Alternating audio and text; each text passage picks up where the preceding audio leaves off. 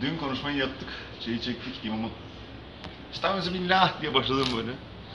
Kıymetli kardeşlerim, değerli Müslümanlar. Bugün burada Gürbüz kardeşimizi boş, bomboş madde dünyasından güzellikle dolu mana dünyasına uğurlamak için toplamış bulunmaktayız.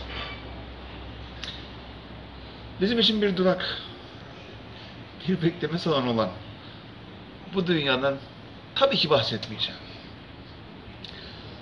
Burada sözlerime son verirken.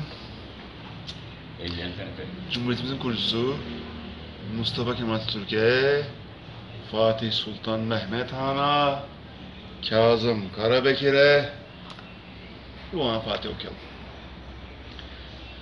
Gürbüz kardeşimizi uğurlamaya gelen bu muhteşem kalabalığa saygılarımı sunarken Mefta için bir herlik vermeye ne dersin? Hadi Allah kabul etsin. Hadi. Onun imam olduğun yerden konuşuyorsun. Evet, Ben benim konuştum işte.